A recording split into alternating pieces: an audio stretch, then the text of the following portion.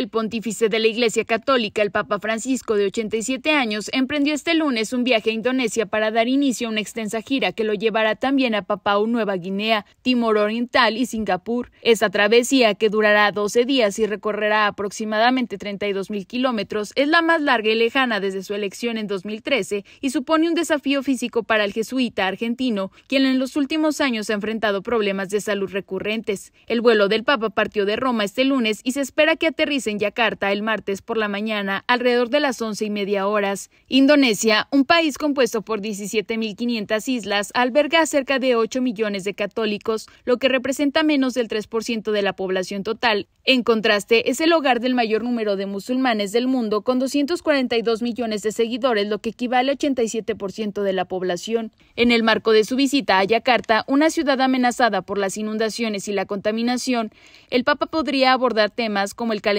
global y la importancia de proteger el medio ambiente. Además, se espera que la visita se centre en el diálogo entre el Islam y el cristianismo con un encuentro interreligioso programado en la mezquita Istiklal, la más grande del sudeste asiático, donde se firmará una declaración conjunta con el gran imán de Indonesia. A pesar de que Indonesia enfrenta desafíos en cuanto a discriminación religiosa, especialmente contra las minorías como los cristianos, el Papa Francisco ha reiterado su compromiso con el diálogo interreligioso. Esta gira se suma a sus viajes anteriores a países de mayoría musulmana donde ha promovido la fraternidad humana y el respeto interreligioso.